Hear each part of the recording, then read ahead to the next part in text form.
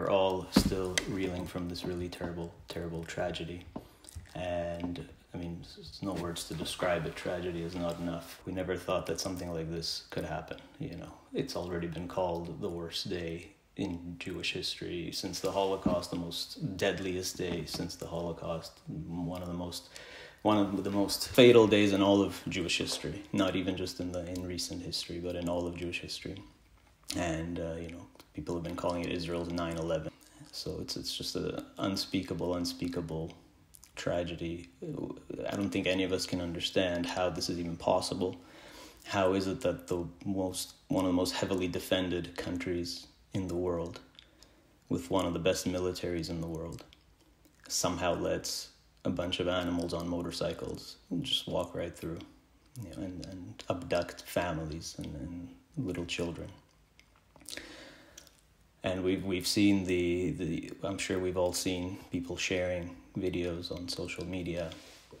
It's just uh, it's better not to watch these things. The, the, the things that these so-called people are doing, uh, just terrible what do we make of it? How do we how do we try to at least understand it, and what can we do to help the situation? That's right. Not even animals behave like this. Calling them animals would be an insult to animals. That's that's quite correct.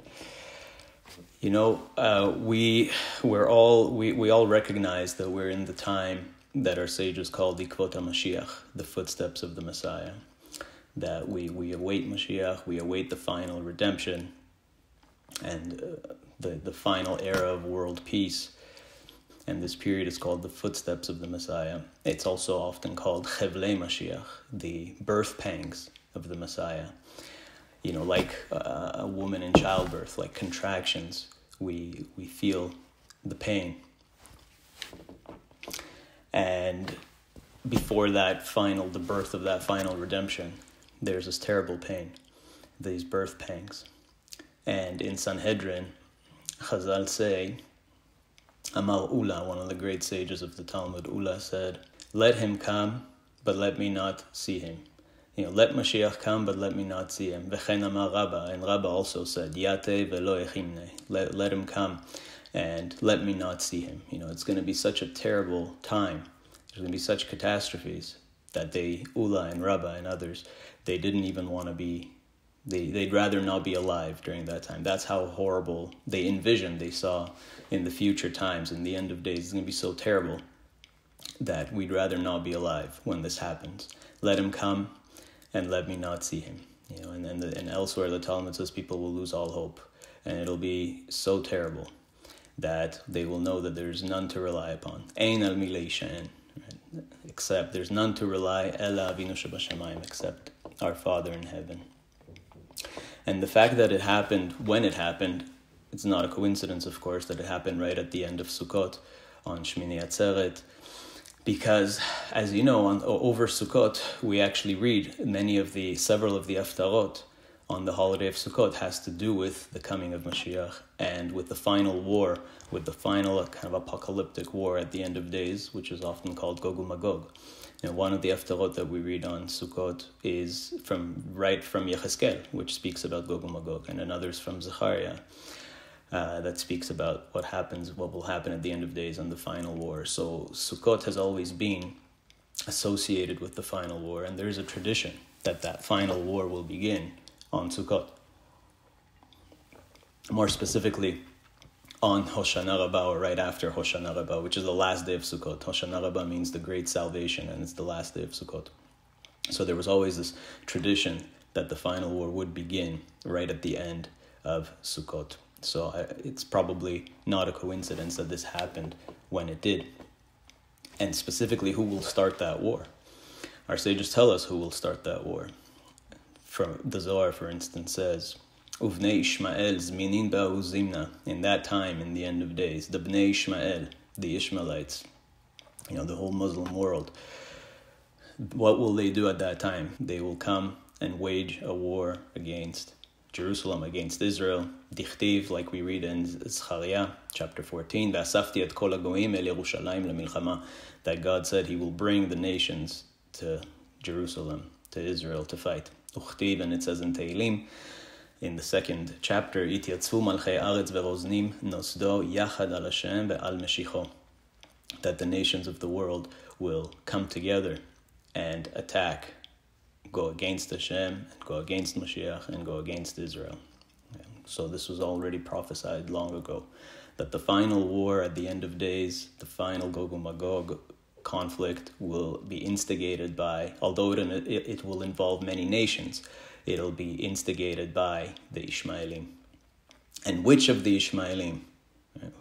Who, which among in the whole world of Ishmaelim and the whole Muslim world, who will it be specifically?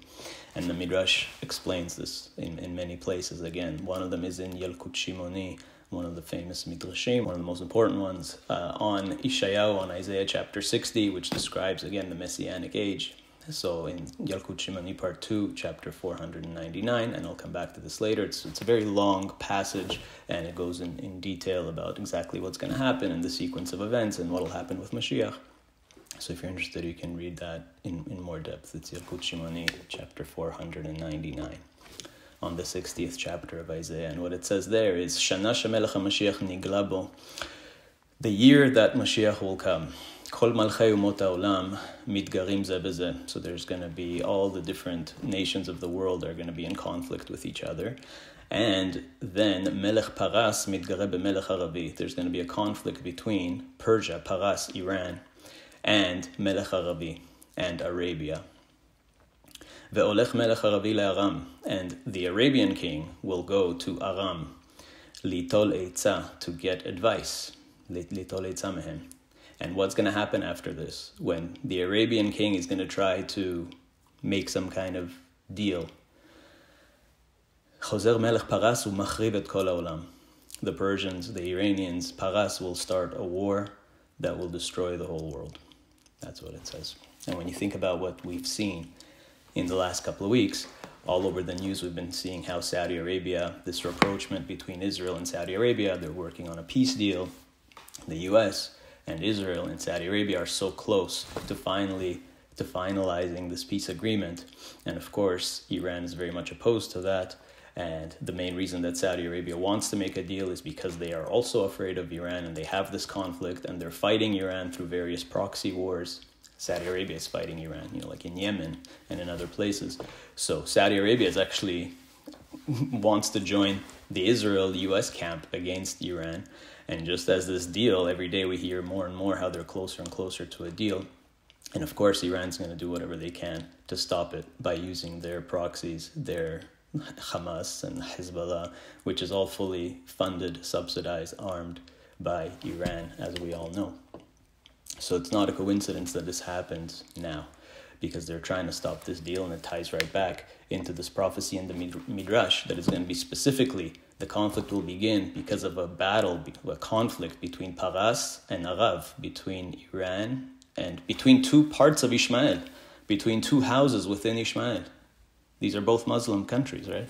So they're both Ishmaelim. And within Ishmael, you have these two, two forces that clash, but that's going to cause this final war that will bring Mashiach, Bezrat Hashem. Rabbi Shimon Bar Yochai Rashbi in a few places he says very something really interesting. He says, for example, in Shir HaShirim Rabbah in the Midrash, he says like this: Tanei Rabbi Shimon ben Yochai. He taught, Im ra'ita sus parsi, if you see a Persian horse, an Iranian horse, sus parsi, kashur bekivrei Eretz Israel, tied to the graves of Israel. Tzapel raglav shel Mashiach. You should expect Mashiach to come very shortly. That's something that Rabbi Shimon Bar Yochai the teacher of the Zohar, Rabbi Shimon Bar Yochai, taught this already 2,000 years ago. When you see the Persian horses, the Persian weapons, the Persian armaments causing graves in Israel, you should know that Mashiach is on his way. And this is Iran. This is the Persian horse, right? Who's Hamas? Hamas is just an arm of Iran. And they get all their weapons. This is all sus parsi. That's what we're seeing here. And when you look at how how will this war begin, the Midrash says in Pirkei Rabbi Eliezer, it's actually a fa- famous Midrash that Ishmael is actually not just going to start one war. The war will start on three fronts. in Pirkei Rabbi Eliezer it says, בעוד הרבי ישמעאל אומר, שלושה מלחמות של מהומה עתידין בני ישמעאל לעשות בארץ באחרית הימים. In the end of days, the Ishmaelim, the Bnei Ishmael, will cause three wars, okay, on three fronts. How do we know? Shenemar, kipnei, there's a verse in Isaiah, mipnei charavot nadadu, and it says, achat bayar, one of these wars will be in the wilderness, in a forest, be'arav, and another one be'achat bayam, and another one in the sea, be'achat bikrach gadol, and one in a big city. So three on three fronts they're going to instigate the war. Okay, so one in the wilderness, one in the sea, and one in a city. That's how it starts. That's what it says. Now, the way this is typically interpreted and read is that the war Achat Bayar means that the war will actually the, the war on land will take place in Arabia and then one at sea somewhere. And Bikrach Gadol is a city in the west, somewhere in Edom because the way the passage continues, it implies that it's going to happen in Edom, which we always associate as the Western world, the Christian world, Edom. But you can actually read this pasuk as saying all three of these things will happen in the Holy Land. When it says Ba'aretz, really, it's, it's you can read as if it's implying Be'eretz Israel, in the Holy Land, that all these three things will happen because it could mean the wilderness could just mean Ba'arav, could just mean the, a wilderness in the west. And Krach Gadol just means a big city. And Edom, remember, was originally in Israel. Right? The original land of Edom was in Israel. It's the land of Esav. That's where Esav lived, in the south of Israel. So you can actually read this passage, uh, not like the way it's been classically interpreted, but you can just read it shut straight up the way it's written as this is going to happen on three fronts in the wilderness in the west of Israel, in the city in the south of Israel, and on sea. And if we look at how this attack began, that's precisely how it began, right? There was this horrible massacre in this nature party, in this Mesibat Teva, in near Gaza, you know, in the west of southwest of Israel. So one of these, the, the, worst of the massacres took place in the wilderness, quite literally. And if you've seen some of the eyewitness accounts and, and, the horrific stories, people were hiding in the woods and in trees and in bushes for hours and hours and hours. So there was one attack in the wilderness, and one from the sea. There were Hamas terrorists coming across from the Mediterranean, and and there was of course in the city. They took basically took over Sderot, and, and did terrible deeds of things over there. So we actually we can see this passage, this ancient prophecy, realized in in exactly how this war began. You know, in the wilderness, at sea, and in a big city or in a city in the south of Israel interestingly, the pasuk that it quotes from Isaiah that I mentioned, it actually says "Keep mipnei charavot nadadu." It uses the word and says, "What is charavot? Ein charavot ela milchamot." So it uses it's an interpretation of this passage in Isaiah. The midrash is telling us what is the deeper secret of, the, of this verse in Isaiah that says mipnei charavot. They they they came away from the swords. It's interesting if you looked at what the IDF has called their mission now in response to this the the response mission is called Operation Iron Swords, Mivtza Charavot Barzel. So it's just interesting that they use the same word of, of Charavot. That's that exactly. That's the word that Chazal was actually interpreting. They're saying Charavot means Ein Charavot Ela Milchamot. So the verse in Isaiah from which they extract, our sages extracted the secret, the prophecy here about the war at the end of days. It's based on this word Charavot. And interestingly enough, the IDF called the current war Mivtza Charavot Barzel, uh, the war of iron, campaign of iron sword, Operation Iron Swords. So we don't know if this if this is the war. Obviously, nobody knows if this is it. We if it seems like what's happening in Israel very much matches what these prophecies are saying in the Zohar, in the Midrash, about Ishmael, about the location, about the way this will happen, about the, the terrible tragedies. So we don't know if this is the one, but we hope it is. So let's hope that this is the final war and that there won't be any more. Let's hope that this is the war to end all wars and that we will see Bezrat Hashem, the coming of Mashiach this year, like the Midrash says, you know, B'shanasha Melech HaMashiach. In the year that Melech HaMashiach will come, so let us hope that this, this is it, that this is the year and there won't be any more wars. In the meantime, what can we do about it? I'm going to come back. I'm going to come back to the, these midrashim in, at the end. Uh, in the meantime, what can we do? We all want to help as much as possible, and we all we're already. I'm sure all of us are doing whatever we can to help. What else can we do other than the things that we're already doing? We're all praying, of course, and we should continue praying and don't stop praying. We should never think that prayer is ineffective. Prayer is effective. Prayer is scientifically proven to be effective. You have to remember that you know quantum physics has already proven to us that we live in a very mental universe and that our minds have a very real effect on the world around us a very measurable effect on the world around us your thoughts do have energy they re- release energy into the world around you our thoughts are are effective our prayers are so your prayers are not just empty words and every prayer helps your kavanot your intentions they do help so don't stop praying and we, we've all probably already given to charity, and that's also a big thing. You know, King Solomon said. In Proverbs, King Solomon said that charity saves from death. You know, if you think about that, the full pasuk there is loyo ilu otzot resha, that the treasures of the wicked won't help them. But but charity can save a person from death. And in the Torah, we see there was a mitzvah for every person to give a half shekel and the Torah uses the term that giving the shekel, giving a donation of money, is a kofer nafsho. It's a it's an atonement for the soul. Somehow, giving money is a way to save souls. What's the connection there? In fact, if you like gematria, if you like numerology, the the numerical value of shekel, shin is three hundred and kuf is hundred, and lamed is thirty. Shekel is four hundred and thirty and the gematria of nefesh, nun is 50, and pei is 80, and shin is 300, is also 430. So shekel and nefesh actually have the same numerical value because giving a shekel is a way of actually atoning for one's soul. It can save souls. Another word for, for money in Hebrew is damim. Damim literally means blood because we're our money is actually tied to our very being. If you think about again going back to this idea of energy that we live in a universe that's all energy ultimately, right? The whole universe emerged out of one. Both science and Torah agree that the whole universe just came out of one infinite, one one point, one point of light, and there's just this illusion of of different things, but ultimately everything is one, and we're all just these beings of energy in a world full of energy. So if you think about it, the way you earn your money is by exerting energy. It's your soul, you know, using the body's energy, exerting energy to earn that money. And so when you give some of that money to charity, it's like giving back that energy. You know, it's you you used your spiritual energy, even your physical energy and your spiritual energy to earn that money. And then when you give it, it's like giving it away. It's like you're giving away a part of your soul. And that's why our sages say, and King Solomon says, that's the katatzil mimavet, that when you give a portion of your wealth, it's also an atonement for the soul and it can save souls.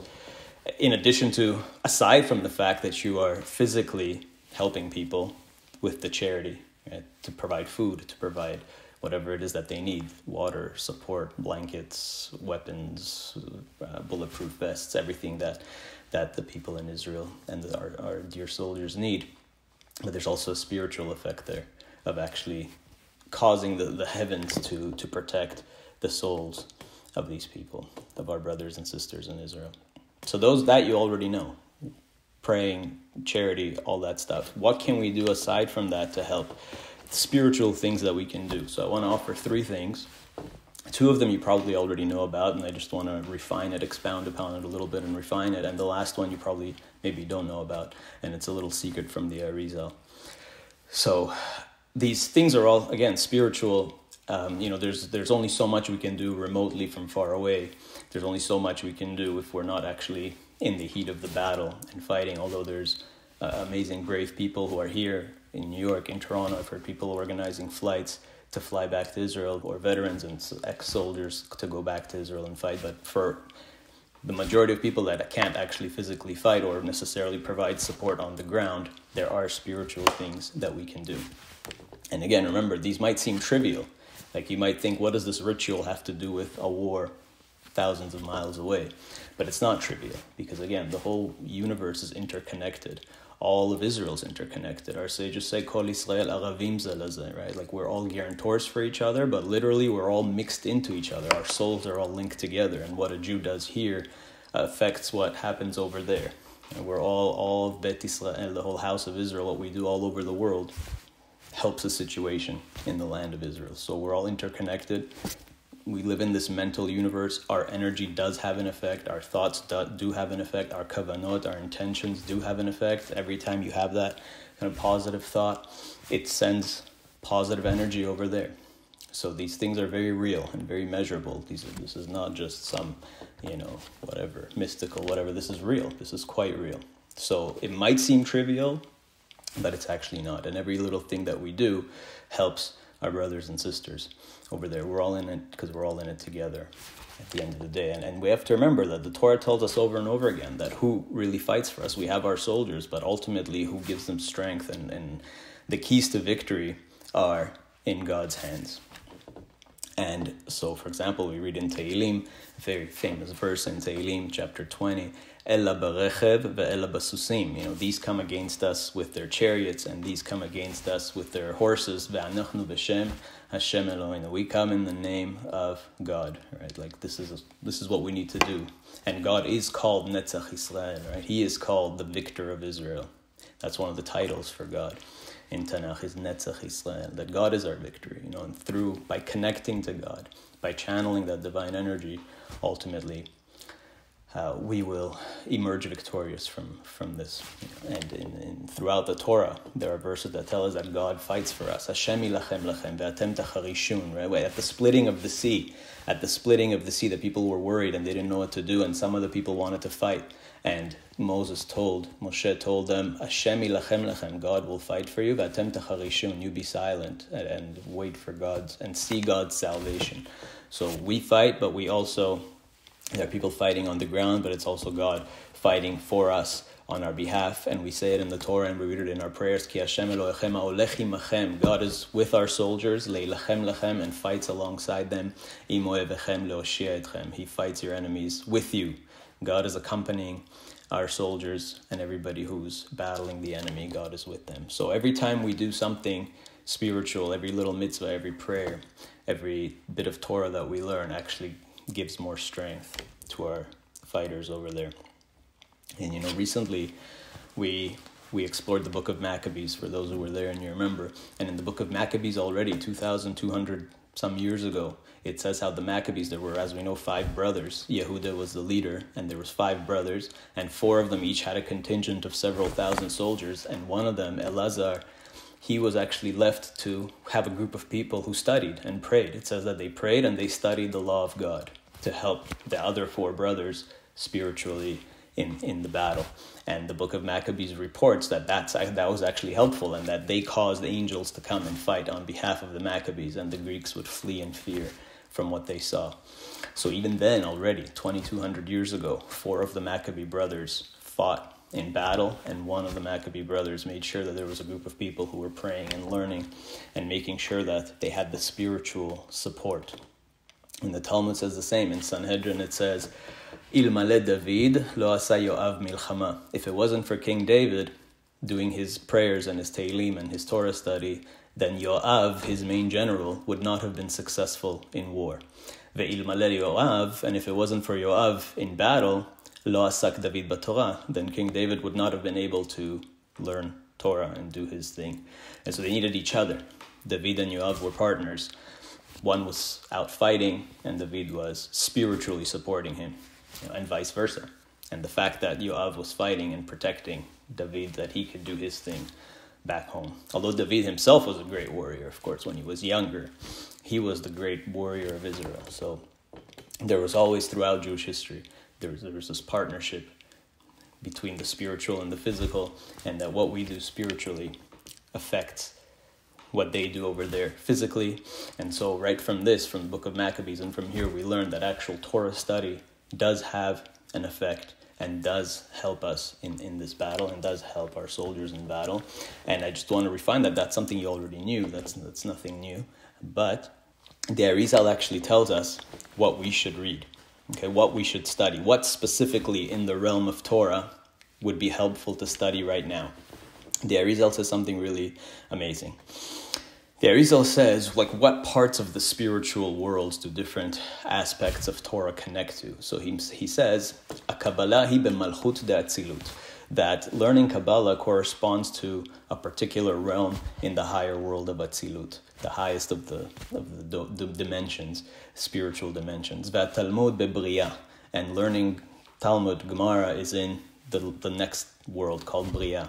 Ve'amishnah ve'amidrashim ve'agadot be'yetzira, and learning Mishnah and Midrash and these things is in the world called Yetzirah, which is the realm above us. Mikra Basia. And studying Mikra, studying scripture, studying Tanakh is here, corresponds to this world that we are in, the physical world, Olam HaAsiya. So if you want to rectify higher spiritual worlds, you can study Kabbalah, you can study Talmud, you can study Mishnah, Midrash.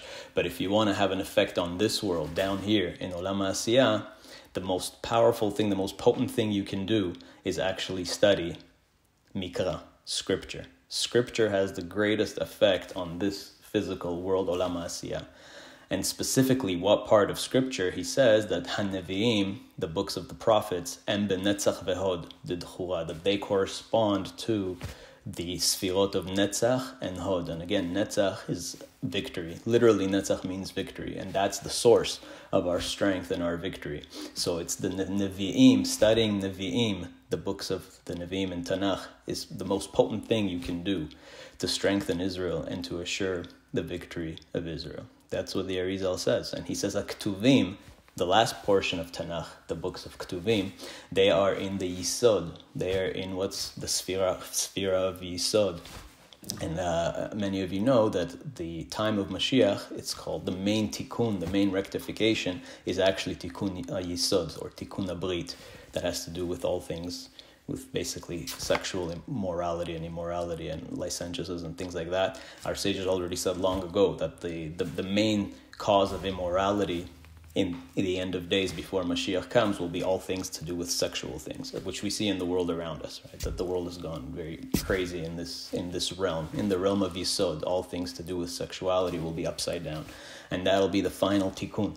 So studying Ktuvim, the Arizal says, specifically corresponds to Yisod and studying Nevi'im corresponds to Netzach Vehod. So this is the part that is actually going to help us now. And the Arizal says that those two in particular channel more male energies, more masculine energies, more strength, whereas the other studies, Kabbalah and the Talmud and Mishnah, they're more feminine. They're more in the realm of Nukva. So if we want to strengthen Israel and tap into that kind of energy, we should be actually studying Nach, the Nevi'im and the Ketuvim is the most important thing to study in, in this particular situation to, t- to connect to that part called netzach. Okay, so keep that in mind. So, so one thing you can do is, so, you know, nach is something that's often neglected today. We all read Chumash regularly. You, you know, you go to shul every week, you cover the whole Chumash, the five books of Moses every year. We read some Haftarot, but then, you know, most of nach kind of gets often gets neglected. So one thing you can do if you haven't already, it's great to do anyways. Every Jew should have read the Tanakh at least once in their life from start to finish, Nach in particular. So if you haven't done that, now's the, the, best time to start because again, studying Nach is what's really going to help spiritually in this conflict. And that's of course what they stu- what did the Maccabees study? Back then they didn't have Talmud and Kabbalah, not in a revealed way. They didn't have the books. They had the knowledge, but they didn't have the books. So what they were studying, when the book of Maccabees says they were studying scripture, they were studying Tanakh. That's what they had. You know, when King David was studying on behalf of Yoav, what was he studying? He was studying Tanakh. That's what he had. So that's what we need to be studying the most right now and to take upon ourselves to learn Nach as much as possible. And yesterday, we actually on Simchat Torah, the, the Haftarah is the first chapter of, of Nach, of Yoshua, Sefer Yoshua, chapter 1. So if you already started yesterday, it's a great time to just continue from Yoshua chapter 1 and go all the way to the end and learn Nach, because that's going to tap into the exact place, the exact source in the heavens for the kind of energy we need right now, the Netzach energy and the Yisod energy, studying Nach and it's just it's worth reading what we read yesterday what Yeshua says because it's so relevant to us right now right? Yeshua repeats over and over again chazak ve'ematz just be strong and be brave. Okay you you will subdue the people that live in this land. You will inherit you will settle this land that God says I gave you I promised to you all you need to do is rak chazak ve'ematz.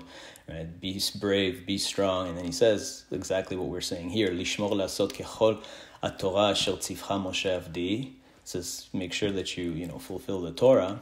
And more than that, lo yamush sefer Torah mipicha vehegita bo yomam belayla. You should meditate upon words of Torah, upon Scripture day and night. They should always be on your mouth. We should always have verses of Nach, of Tanakh in particular, Eh, in our mouths. You know, and that's the source of our strength. That's where our chazak chizuk comes from. At the end of the day, so that's one thing of of learning of Torah if you haven't already done this, take upon yourselves. And I see already, I've, I've been invited to so many Torah learning groups. It's fantastic. You know, people are doing at my school as well. A collective, let's finish all Mishnahs, let's finish all Nach, let's, or Tanakh, let's finish all Psalms. So be a part of that, and that's something very powerful. Another thing to do, more specifically than that, we know also Tehillim, of course, is super powerful to do, and that's part of part of Tanakh, right? Is part of Tanakh. And, and Midrash Tehillim says something very interesting. Midrash Tehillim actually says, when King David said, Iu you know, may my words be good to you, whatever, acceptable to you. What did he mean? Midrash Tehillim says, Yasu dorot ve'iktavu dorot imrei fi. King David said, let my words, let my psalms be for generations something special. It'll be unique in Tanakh. Ve'lo iyu korin ba'em kekorin besfarim that people shouldn't read Tehillim like they read other books, that when King David made this agreement with God, and he said that when people are going to read Tehillim, it's as if they're going to be studying the most difficult aspects of Jewish law, the most difficult Talmudic tractates like Negaim and Ohalot. So Tehillim actually has incredible merit, incredible power, and tremendous secrets. And so that's also, of course, a part of of Nach. So if you haven't covered all of Tehillim, people have been asking me which Tehillim to read, and my answer to everyone was all of them. Right? Just start at the beginning and read the whole thing. Read all the Tehillim, and you'll see some amazing things that actually connect to what's happening now. You know, as soon as I heard this new Saturday afternoon, I started reading Tehillim and I finished the whole thing. And um, also, my son, who's seven years old, also took upon himself to read all of Tehillim. So if he can do it, you all can do it. And so everybody should read like all of Tehillim. And one of the amazing things that stood out to me is Psalm number 83, because again, it's just describing exactly what we're seeing today around us. It begins by saying, Elohim al milach, don't be silent, al techaresh, you know, don't be still, don't be silent, because what's happening, Ina oevecha yemayun umesanecha nasurosh, that your enemies are proudly doing these horrible things. They planned, they conspired against your nation. And they conspired and did all these horrible things against your hidden ones, your little ones. Let's wipe them out. Let's wipe Israel off the map, which is, they love to say these things, Iran and Hamas, right? Let's wipe them off the map. And this is what King David is saying thousands of years ago. They all came together against you. And who are these people that came together against you? Oale Edom. Edom is first. The Ishmaelim, as we've already seen. Moav. Moav is what's today Jordan, that region. The Hagrim Gaval is in the, is in the north, like close to Syria. The Ammon. Ammon is also Jordan. The capital of Jordan is Amman. That's the ancient, comes from Ammon. The Amalek and Peleshet, of course, the Plishtim the precursor of the of the, the, spiritual forefathers of the of the Palestinians, the, the current Plishtim, they all came together im Yoshvei Tzor with Tzor. What's Tzor? Tzor is Tyre. Tyre is Lebanon, right? What's today Lebanon? So these are the the the, the players that we see today. The Ishmaelim, you know, you got Jordan, you got Syria, Gam Ashur it says, and Assyria, and uh, Amalek and the Plishtim and all these people are coming together. Esther just asked about if it's okay, if it's also effective to read Tehillim in English. Yes, it is. And ideally, you read it in Hebrew because there's, of course, uh, mystical power to the Hebrew language. But even in English, I'd read both. Right? If, if it's hard to go get through the Hebrew, read the Hebrew and then also read the translation. Uh, it's very worthwhile to do both. Right? Read the Hebrew and also understand what it's saying because it's very powerful words. So, here in this psalm, it's actually describing the situation we have today this group of people that conspired against us to commit all these horrible crimes. Horrible crimes. Like, how can human beings even do such things? supposedly human beings. Unbelievable. So that's what it's saying here in Tehillim. Uh, King David is saying, "Don't let this happen, Hashem. Don't be still. You know, show us your hand here." And note how it says Edom too, right? Edom, who who enabled what's happening here? Right? We shouldn't forget that Edom is involved too. If you've seen the Western media, I've been looking at like what what is the Western media saying, and it's the same old headlines trying to paint Israel as the enemy. And uh, let's not forget that there is an aspect of Edom here of the Western world abetting these crimes, and it's also not a coincidence that not only, as we said, Iran is trying to block this, stop the Saudi Arabia Israel deal. But don't forget also that Iran just got several billion dollars in recent weeks because the Biden administration decided to, you know, free unfreeze some of their accounts and allow billions of dollars to Iran. And it's not a coincidence that this happens right after. Or where do you think that money? They're saying, no, don't worry, it all went to humanitarian causes only. That's nonsense. And they're going to use that money for the same terrorist activity. So it's not a coincidence here, and their Edom is helping them in this ultimately. So that's what King David is saying that it's all together. When when when the Midrash and the Zohar and our sages say it's going to be a global thing, it's a global phenomenon. It's very much so. It's Edom and it's Ishmael and it's everybody else, right? And Amalek and Peleshet and Ashur and everybody. And King David ultimately says, you know, do to them what you did. Do to them what you did to Sisra. If you remember, Sisra was this evil, this villain 3,000 years ago that Dvorah, Deborah defeated, Deborah and Barak, Dvorah and Barak, the judges, defeated. So do to them what you did, do to the current oppressors what you did to them.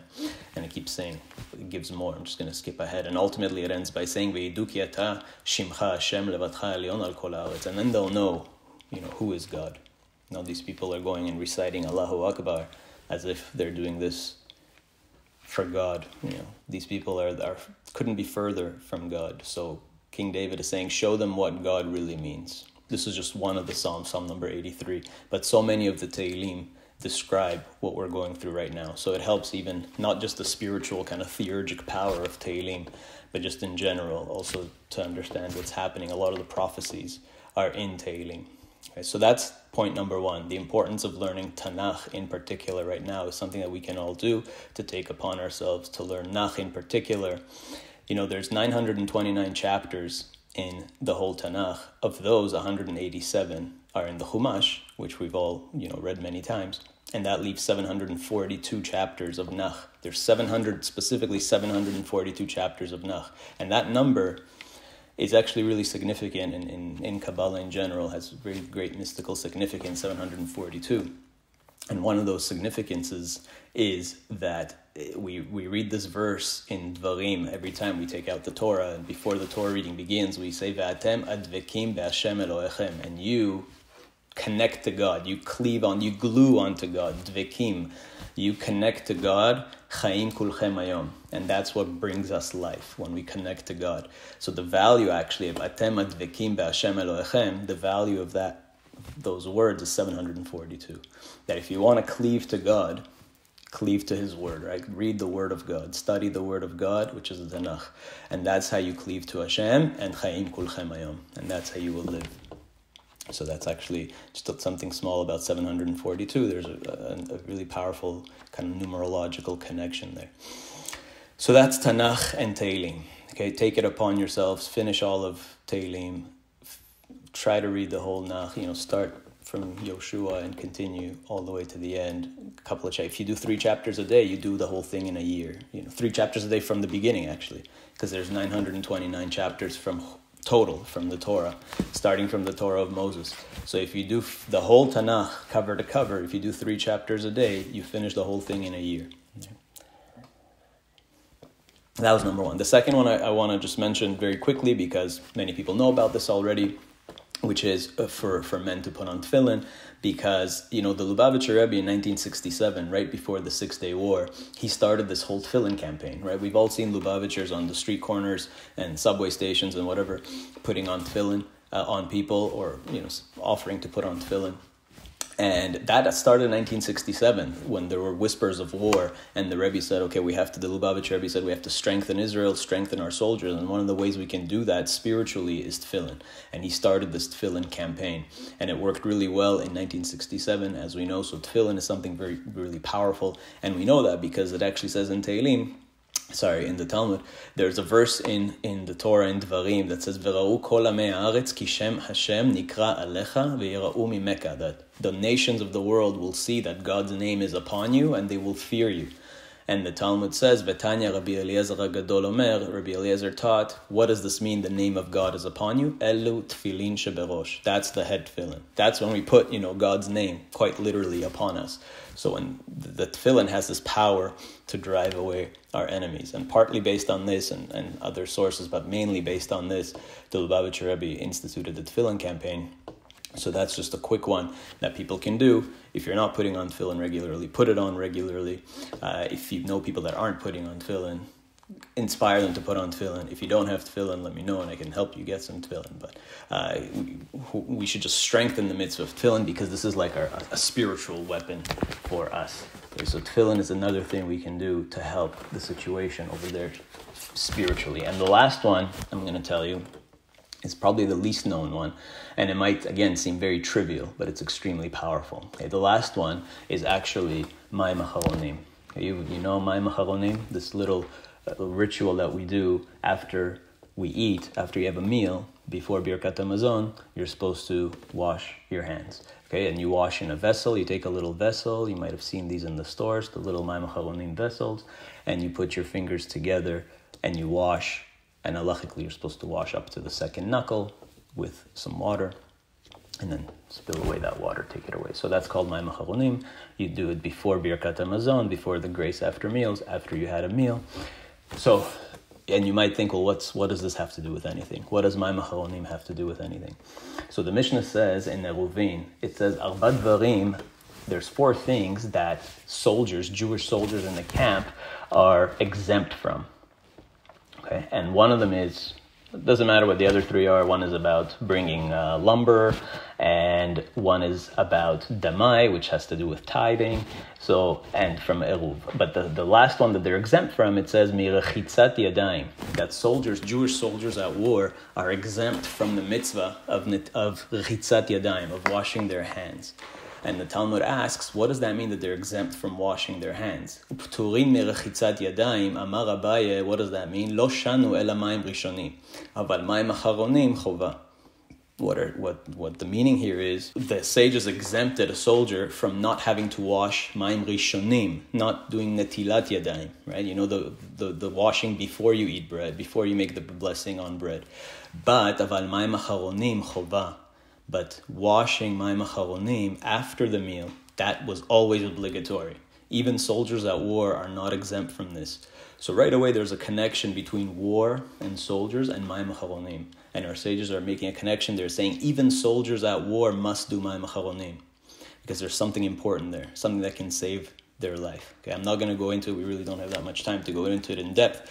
But in short, Mayim Acharonim is actually something very powerful, and the Zohar says that this is able to drive away the Sitra Achra, okay, evil spirits, all the side of the Sitra Achra is the, the realm of evil, where all this kind of evil that we're seeing in Israel today, all, where is that all coming from? All of that evil is coming from the Sitra Achra, okay, the spiritual domain of impurity and all these demonic forces. So to drive that away, Mayim Acharonim actually accomplishes that it drives away the Sitra Achra.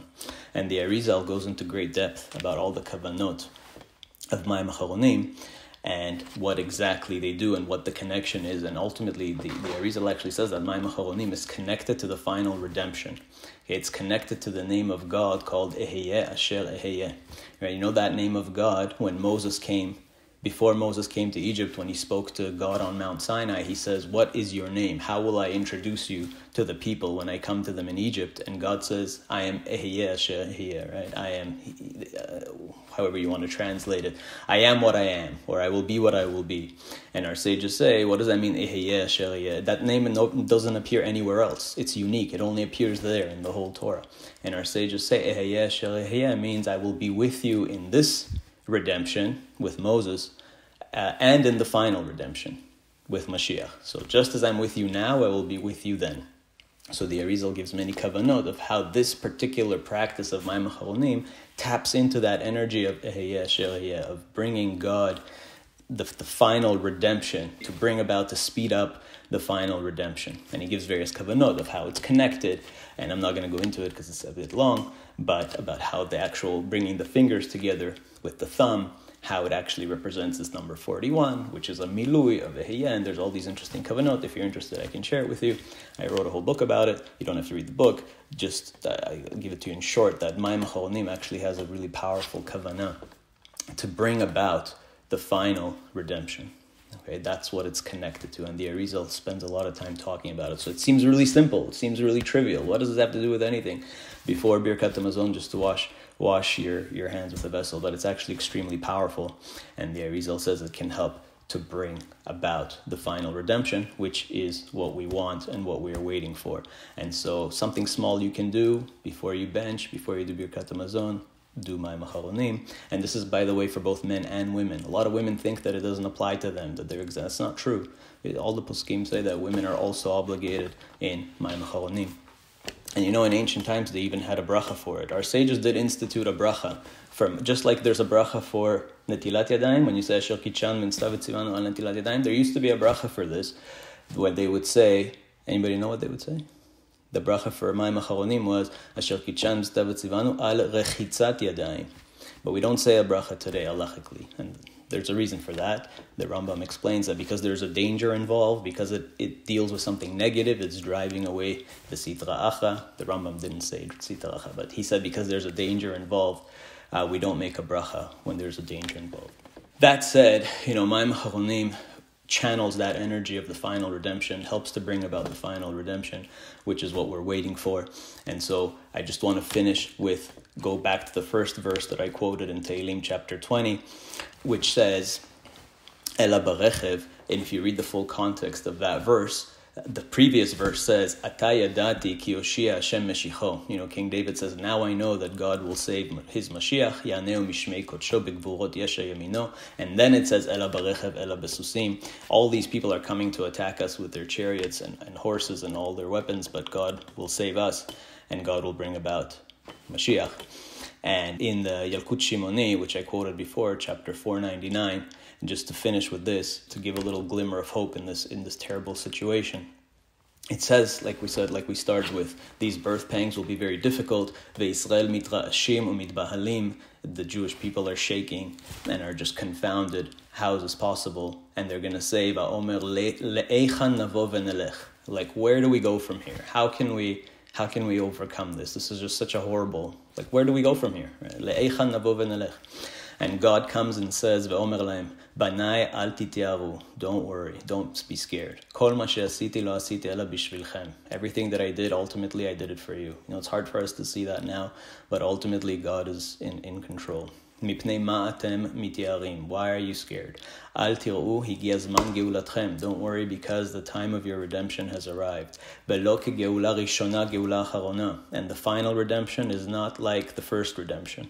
כגאולה ראשונה היה לכם צער ושעבוד מלכויות אחריה. You know, the first time God redeemed us out of Egypt, there were still all these horrible catastrophes that happened to us throughout history since then, over the last three and a half thousand years. אבל גאולה אחרונה, אין לכם צער ושעבוד מלכויות אחריה. After this final redemption, there will be no more suffering. This is the last, the last bit of suffering. It's the worst because it's the last. And finally, it says, Shanu Rabotenu, our sages taught, B'shah shemelech HaMashiach ba, when Mashiach will come, Omed al gag Beit HaMikdash, he's going to stand on the roof of the temple.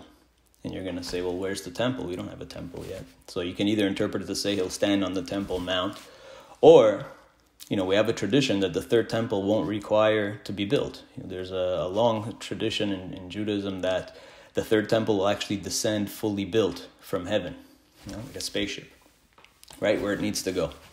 We'll just have to connect the plumbing and the electrical, but everything else will come right from right from space. So there is such a tradition. So Melech HaMashiach will stand al gag Beit HaMikdash ve'u mashmi'a la'em le'Israel ve'omer and he's going to tell all of Israel, Anavim, O you humble ones, higia zman geulatchem. Okay, the time for your redemption has arrived. Just look at the light that's coming down here. because it says in Isaiah, God's light, that initial light of creation. This whole passage in the in the Midrash here in Yalkut Shimoni is talking about the initial light of creation, the light of the first day of creation. What happened to that light? It says God hid that light away for the tzaddikim in the world to come and finally that light will return. The primordial light, the Ohr Haganuz, the divine light of creation, will return and will shine upon all of us. Ve'alechem bilvad, on you specifically. Belo alovde elilim, it'll shine upon you and not on all these idolaters and wicked people around you. Because it's the, the verse in Isaiah continues that they will have darkness and we will have light. And באותה שעה מבהיק הקדוש ברוך הוא אורו של מלך המשיח ושל ישראל. So then we will all glow together with Mashiach, and all of us, we will glow with the divine light of creation. והולכים כולם לאורן של מלך המשיח ושל ישראל, שנאמר, and all the nations of the world will come and walk in our light, והלכו, because the verse continues in Isaiah and says, והלכו גויים לאורך ומלאכים לנוגה זרחך. So then all the nations of the world will, will walk in our light, and we will shine with the light of creation. May we see that day very soon. And um, if you take anything out of today, just that there is, you know, these things are horrible, but we should try to not to see the negative stuff. Try to focus on the positive things. Do whatever we can to help spiritually. If we can help physically, that's even better. If we can provide food, support, whatever supplies, money, great and give the emotional support for the people that are there and look after each other and stop the divisions among us. People are still arguing. There's no need to argue. There's no need to fight. There's too much of that already, right? We need to focus on the ahavat chinam. There's no need to place blame, and we don't need to share negative messages. It happened because you know we weren't righteous enough. We're never righteous enough, right? There's always we're never righteous enough for somebody, so we don't have to share those negative messages. We need to just focus on staying together, staying positive, doing whatever we can to help.